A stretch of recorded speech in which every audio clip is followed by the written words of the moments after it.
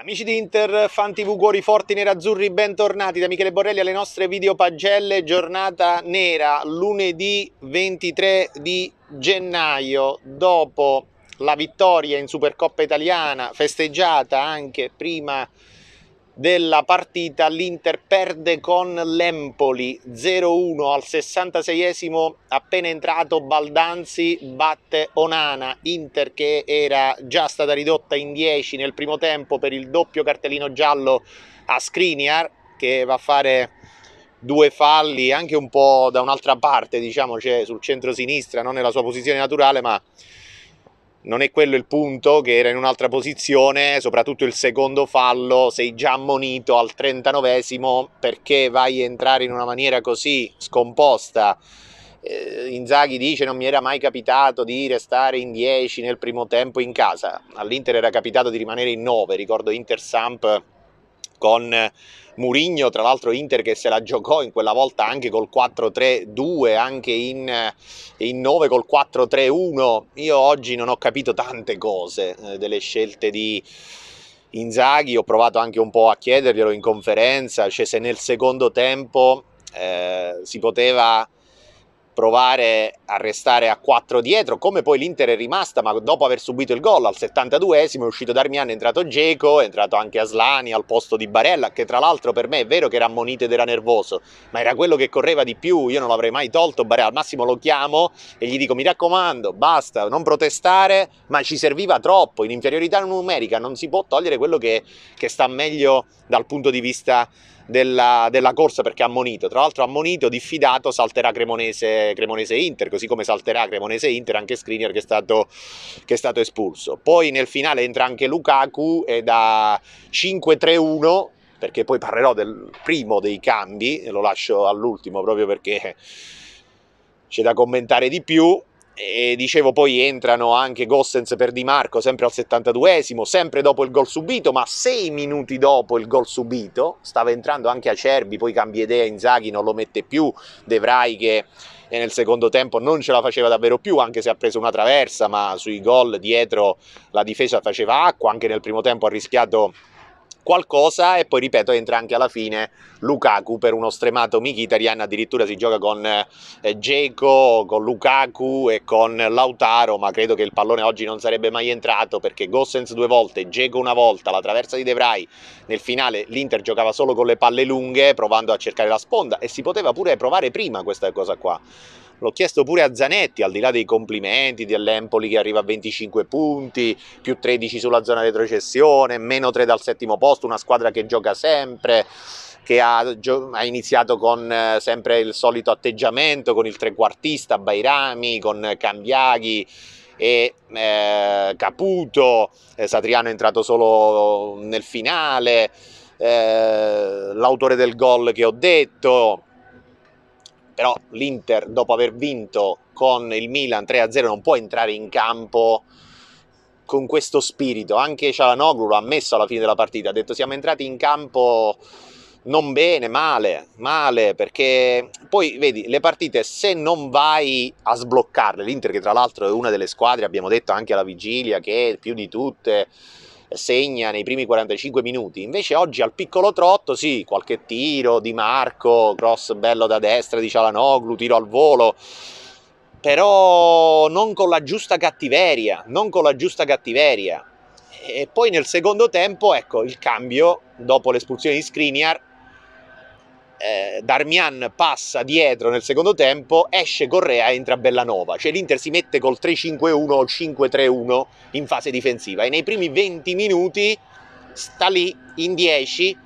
e Inzaghi tra l'altro ci ha pure detto il piano partita era aspettare il finale per inserire Dzeko e Lukaku. Io ho detto ma non si poteva giocare per esempio a 4 cercando a centrocampo di contrastare di più il possesso dell'Empoli? No, per lui l'Inter ha rischiato meno nella prima mezz'ora nei primi 25 minuti del secondo tempo, 21 fino al gol subito in contropiede, che non nella prima mezz'ora. È vero, nella prima mezz'ora ha concesso anche lì qualcosa all'Empoli, però nei primi 21 minuti del secondo tempo eh, già c'erano state le avvisaglie, c'erano state altre due azioni dell'Empoli, mentre l'Inter era lì agonizzante in 10, non è che in 10 non si può fare niente. Ripeto, magari bisogna prendersi qualche rischio dietro, l'uno contro uno, mentre davanti con Geco in più si doveva dare una mano a Lautaro che non era proprio nella sua miglior giornata. È vero che tanti erano un po' stanchi, però l'atteggiamento in generale non va bene, cioè, dopo la Supercoppa si era detto doveva essere una spinta per la seconda parte di stagione, invece è stata affrontata la partita come se non contasse niente per il vertice. Attenzione perché con questo atteggiamento non è che il quarto posto, siccome la Juventus è penalizzata, è semplice. C'è la Roma che è già a 37, la Lazio che deve giocare stasera con il Milan, domani sera con il Milan e anche può arrivare a 37. Eh, Inzaghi continua a dire no, a parte il Napoli siamo tutte lì, ho capito ma sono 37 punti nel girone d'andata, c'era una grande possibilità di chiudere secondi a 40 che non era lo stesso granché 5 sconfitte, ma ora le sconfitte diventano 6, 2 in casa e si è visto ancora una volta al di là degli errori di Skriniar che tra l'altro poi ha pensato bene la gente di parlare proprio oggi, non so se proprio prima della partita perché l'intervista è uscita durante il primo tempo a Telenord, in cui tra l'altro ricostruisce un po' così in modo particolare tutta la vicenda, forse anche senza dire tante bugie, ma la cosa principale dice l'Inter eh, ci aveva messo in vendita, eh, aveva messo in vendita Skriniar e questo lo sapevamo, poi la trattativa si è interrotta, ci ha comunicato sia quando l'ha messo in vendita che quando si è interrotta, da professionista ha accettato ed è rimasto, darà sempre tutto, eccetera, poi noi abbiamo fatto una nostra richiesta per il rinnovo, siamo sempre, ci siamo sempre presentati agli incontri, l'Inter ha fatto all'inizio di novembre la sua proposta, noi l'abbiamo rifiutata prima di Natale, abbiamo ribadito prima della Supercoppa di sentirci liberi di trovare un'altra squadra, al momento. C'è questo al momento, però dice che al momento non se ne parla proprio di rinnovo, non c'è solo il Paris Saint Germain, ce ne sono altre, ma ragazzi, allora, se tu hai detto eh, io resto, io resto, potevi dire, ripeto, come Bremer, come Koulibaly, come Delict, guardate che io non rinnovo. Invece no, lui dice, no, io voglio fare la trattativa per il rinnovo. Ma quanto chiedi per sto rinnovo? 8 milioni, 9 milioni? Sono cifre che è inutile chiederle, è una falsa richiesta. È una falsa richiesta perché la sai lunga per andare a scadenza zero e prendere più soldi dal Paris Saint Germain. Quindi io ripeto ancora una volta, al di là dell'errore madornale dell'Inter di Zang e Marotta, soprattutto loro due, perché gli altri sono tutti con altri compiti, di Zang e madornale a fidarsi di Skriniar o a pensare che Skriniar a zero poteva essere anche al limite accettato perché non c'era il sostituto, assolutamente no. In una situazione di bilancio come c'era all'Inter, meno 140 non puoi andare a rifiutare 50 milioni senza avere certezze. Ma chiudiamo quest'ampia parentesi, ne parleremo ancora, domani c'è oggi, martedì, io dico oggi, ormai è passata mezzanotte, interagire con le telefonate mercoledì sera con i nostri ospiti, chiudiamo questo discorso di Skriniar che poi non è che è stato espulso perché chiacchierato, perché c'è tutta questa situazione, è stato espulso, stava pure giocando, a me piace nel senso che l'unico aggressivo, l'unico che marca, gli altri difensori li abbiamo visti quando sono rimasti dopo senza Skriniar, Caputo ha rischiato l'1-0 alla fine del primo tempo, a 4 non marca nessuno, De Vrij non marca, Bastoni non marca, non marcano, non marcano. Darmian è stato l'unico che ha chiuso nella difesa a 3 nel secondo tempo, poi è uscito pure lui. De Vrij nel secondo tempo è calato perché andava sempre in avanti a tentare il colpo di testa sulle palle native non ce la faceva più a chiudere. C'erano state già l'avvisaglia del gol due volte, si era fatto superare. Eh, però poi commette Skriniar al di là della foga eccetera se ti ha ammonito già per me il primo giallo può pure essere discutibile ma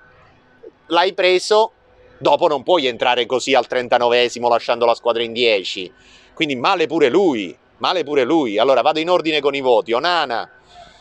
ripeto poi l'Inter anche nel finale non avrebbe mai trovato il gol, Gossens due volte alto, eh, Geco pure male al lato, Lukaku che stoppa e passa la palla all'avversario, solo Aslani un pochino, l'unico che cercava è Onana con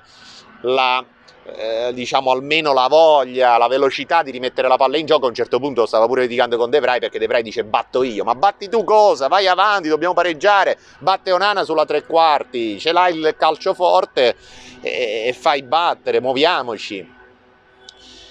solo negli ultimi 15 minuti queste palle lunghe, prima niente, niente, proprio male, male, male. Onana, allora, Onana gli do 6 meno sul gol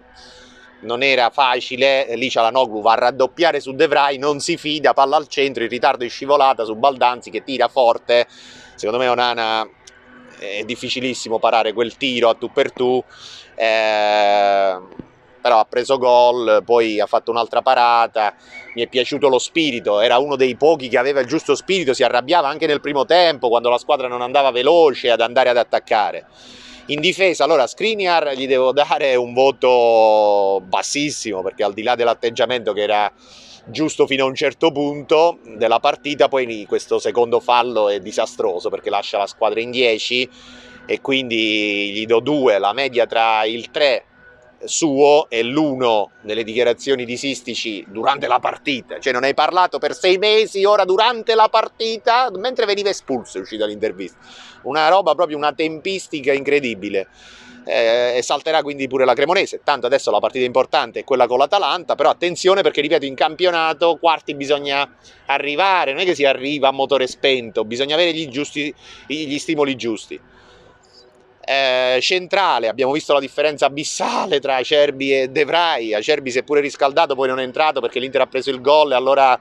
ha cambiato le, i subentranti. De Vrij gli do 4, non voglio infierire, pure a Bastoni gli do 5, che si è proiettato in avanti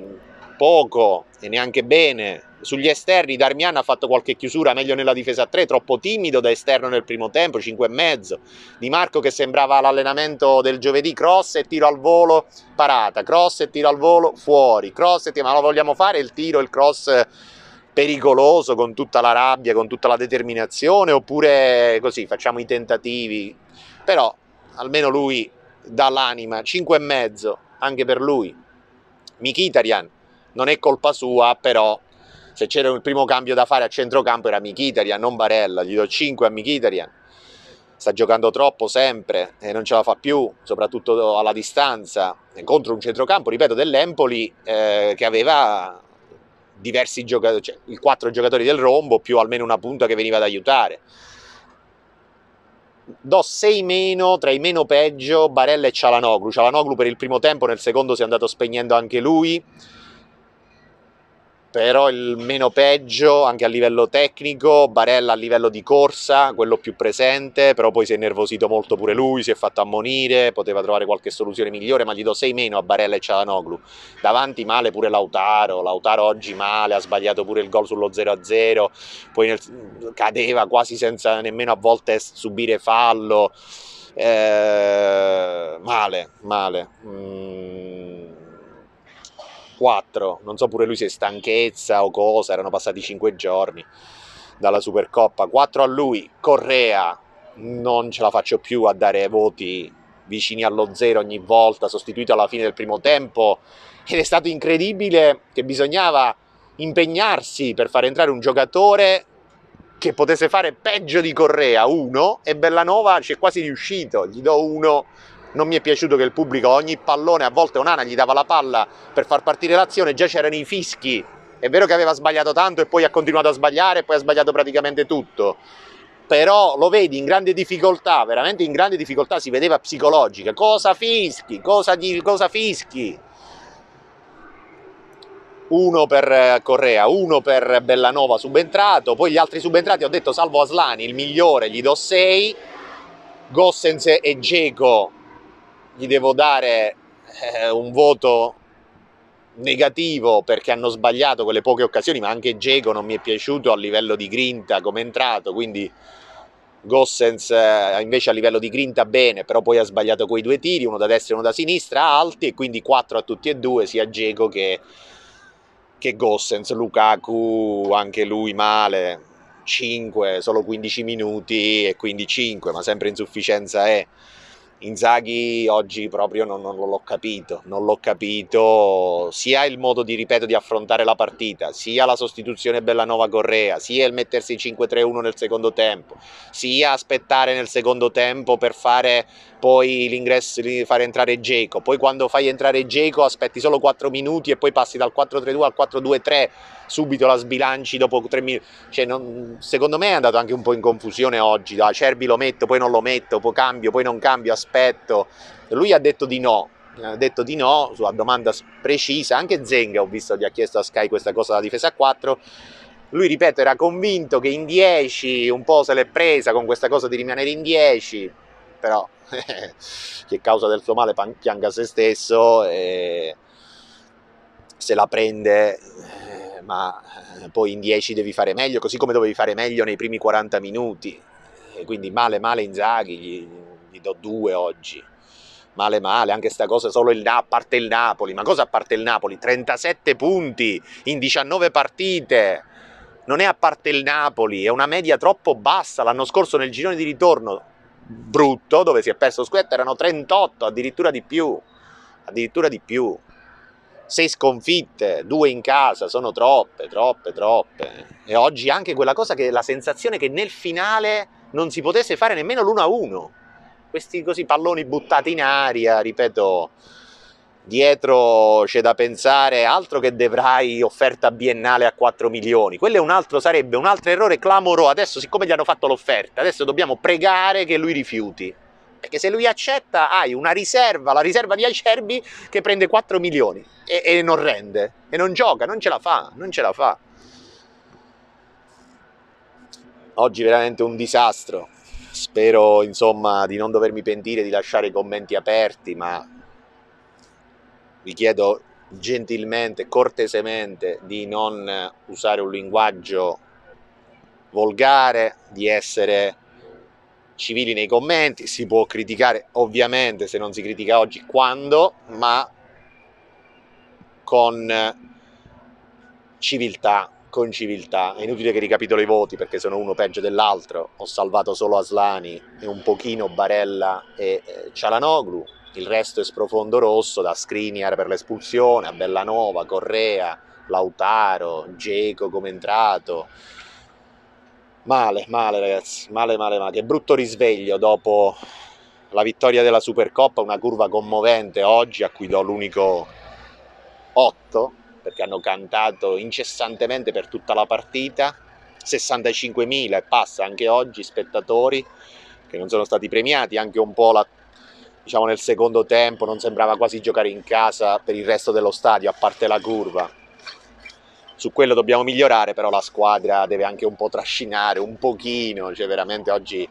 l'anticalcio, oggi l'Inter ha fatto male male male in 11, in 10, in difesa, in attacco, a proporre proprio peggior partita veramente che io forse la peggiore degli ultimi due anni. Sicuramente la peggiore degli ultimi due anni cioè peggio di così è impossibile. Speriamo davvero che sia stata una sbornia dopo la vittoria perché perché altrimenti diventa preoccupante per l'obiettivo minimo che è arrivare in Champions League e poi, ripeto, ci sono pure le coppe, soprattutto la Coppa Italia per quanto riguarda, attenzione, l'Atalanta, che è un'altra squadra che se giochi come oggi ne prendi 3 o 4 dall'Atalanta e poi ovviamente la Champions cercando di recuperare adesso per esempio Brozovic, forze fresche, cercando di recuperare eh, la situazione Skriniar di capire cosa fare, di capire cosa fare, anche se non risultano offerte del Paris Saint Germain, quindi la sanno lunga Skriniar e Sistici, altro che l'Inter mi aveva venduto, l'Inter non ti ha venduto nemmeno a 50, non ti ha venduto. La trattativa col Paris Saint Germain gli ha chiesto 80, non ti ha venduto nemmeno a 50, che per com'era il bilancio, se ti voleva vendere a 50 era un'offerta senza il rinnovo che non si poteva rifiutare. Invece no, perché hanno creduto a, addirittura a poterti far rinnovare, a poter farti rinnovare il contratto. Pensa un po' che, che polli, che polli. Buonanotte, si fa per dire a tutti un caro saluto da Michele Borrelli, da San Siro, dal Meazza, Inter che chiude quindi al eh, terzo posto insieme alla Roma a 37, il Milan che ha 38 e deve giocare ancora con la Lazio il girone d'andata. Ci vediamo domani, martedì, interagire e poi mercoledì anche con Intermercato, con i nostri ospiti. Un caro saluto dal Meazza. Ciao, ciao.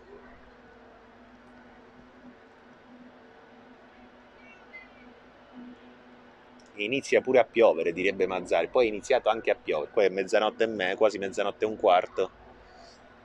È iniziato pure a piovere. Buonanotte.